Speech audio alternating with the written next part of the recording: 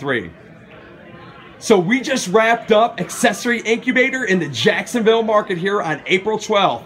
We got Juan, Brad, and Scott. Hey guys. Hey, First hello. question goes to Juan. Juan, what'd you think of the program? Man, it was so exciting. Speakers were energetic. We learned a lot of cool things.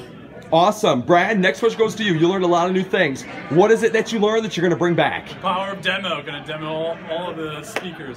Awesome. And Scott, last question goes to you. I know you've been through a lot of training programs.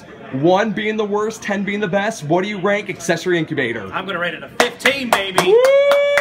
Guys, overall, what'd you think of the program? Pretty good? Yeah. Thank you.